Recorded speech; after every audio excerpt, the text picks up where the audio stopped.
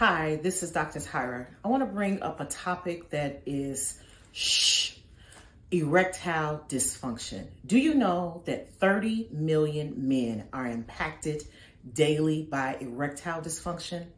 And because so many men are impacted, there's some things that go along with it. Anxiety, stress, the wife, the significant other, and the children, and let's not leave out the dog. They are all impacted because the men don't know how to talk about it.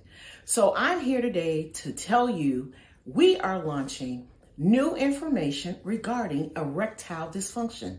It's something that needs to be discussed because it impacts the whole entire family unit.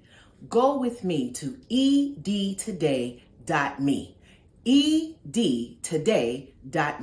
You'll find our magazine that talks about health issues that impact ED, such as type 2 diabetes, heart disease, family things. These are things that need to be discussed so that we can eradicate ED.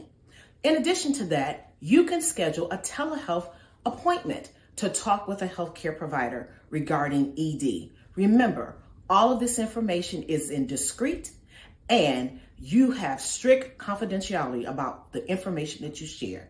So one last thing, we also are launching ED Jokes on Me. It's important that we are able to laugh about things.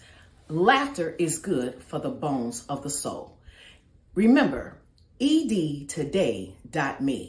You're surely to get a rise. Won't you book? Won't you look? Look forward to you learning more about edtoday.me that me.